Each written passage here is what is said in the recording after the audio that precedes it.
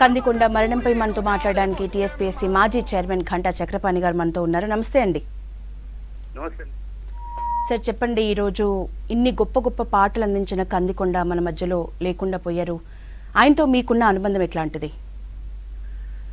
నిజానికి కందికొండ గారి కేవలం వారి సాహిత్యం పట్ల ముక్తున్నాయి వారి పాటలు వారు రాసినటువంటి పాటల్ని అనేక పాటలు నిజానికి నేను వి సిక్స్ ద్వారానే వి సిక్స్లోనే చూడడం జరిగింది. వి సిక్స్ ద్వారానే వినడం జరిగింది. తెలంగాణ ఉద్యమంలో ఒక పాట అనేది ఒక మహా ఆయుధంగా ఉన్నటువంటి కాలంలో కందికొండ గారు తెలంగాణ అస్తిత్వాన్ని తెలంగాణ సంస్కృతిని ప్రతిబింబించే అనేక పాటలని రాశారు. అనేక పాటల్ని ఈ సిక్సే రూపొందించి వాటిని ప్రసారం చేసింది. అది నిజానికి తెలంగాణ ప్రజల్ని తెలంగాణ యువతని మొత్తంగా తెలంగాణ సమాజాన్ని చైతన్యవంతం చేసింది. అట్లా ఒక అతి తక్కువ కాలంలో ప్రజల్ని చైతన్యం చేసినటువంటి కవుల్లో బహుశా కందికొండ గారే అగ్రగణ్యులని నేను భావిస్తున్నానండి.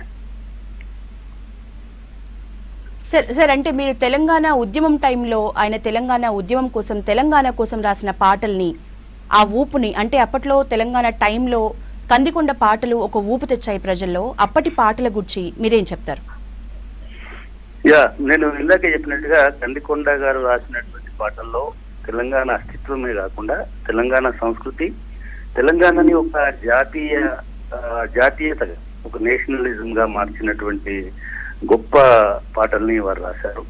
మీరు ముఖ్యంగా తెలంగాణ ఫార్మేషన్ డే రోజు వేసే పాట కానీ హైదరాబాద్ మీద వేసినటువంటి పాటలు కానీ ఇట్లా ఇట్లా అనేక పాటల్ని కనుక మనం గమనించినట్టయితే ఆ పాటలు తాత్కాలికంగా సంగీతం ద్వారా ఊపిలేవడం కాకుండా లోతైనటువంటి సాహిత్యం ద్వారా ఆ సాహిత్యంతో పాటుగా ఆ సాహిత్యం వల్ల తెలంగాణ సంస్కృతిని ప్రతిబింబించేటువంటి అద్భుతమైనటువంటి వాక్య నిర్మాణంతో వారు రాసినటువంటి పాటలని అంటే మనం తెలంగాణ సంస్కృతిని తెలంగాణకు ఉన్నటువంటి ఆత్మని ఇంకా పూర్తిగా మనం ఇంకా దాన్ని ఆవిష్కరించలేకపోతున్నాం. ఆవిష్కరించలేకుండా ఉన్నాం. కానీ కన్నికొండ గారు తన పాటల్లో వాటిని చాలా అద్భుతంగా ప్రతిబింబించినటువంటి కవి. అంటే తెలంగాణ బహుజనుల జీవితాలు కానీ లేదా తెలంగాణ మత సామరస్యం కానీ తెలంగాణలో ఉన్నటువంటి నగరాల పరిస్థితి కానీ తెలంగాణలో ఉన్నటువంటి గ్రామీణ వృత్తులను కానీ కందికొండ గారు చాలా అల- అలవోకగా వాటిని తెలంగాణ ఆత్మగా ఆవిష్కరించినటువంటి వ్యక్తి. కాబట్టి తెలంగాణ సంస్కృతిని కేంద్రంగా చేసుకుని పాటలు రాసినటువంటి పూర్తి స్థాయిలో పాటలు రాసినటువంటి వ్యక్తిగా నేను కనుకొండను గమనించానండి.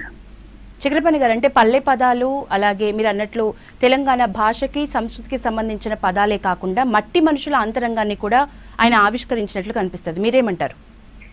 ఎగ్జాక్ట్లీ అమ్మా. నేను ఇందాక చెప్పిన దానిలో కూడా అంటే చాలా మంది తెలంగాణ పదాలతో ఒక కవిత్వం రాసిన వాళ్ళు పాటలు రాసిన వాళ్ళు ఉన్నప్పటికీ ఆ పాట భావం ఆ పాట మూలం మౌలికంగా ఆ పాట యొక్క సారాంశం అనేటువంటిది తెలంగాణ బతుకుని తెలంగాణ బతుకు చిత్రాన్ని తెలంగాణ భవిష్యత్తుని కూడా ఆవిష్కరించిన తీరు చాలా అద్భుతం.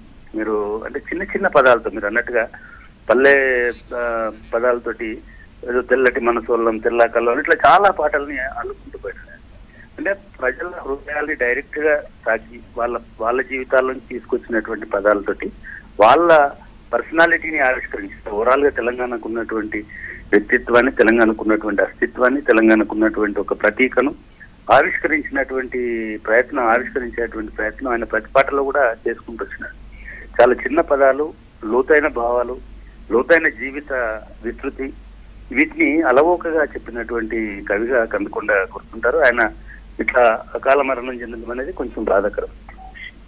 చక్రపాణి గారు అట్లే ఎన్నో సినిమాలకు పాటలు రాశారు. దాదాపు టాలీవుడ్లో వెయ్యికి పైగా పాటలు రాశారు కందికొండ.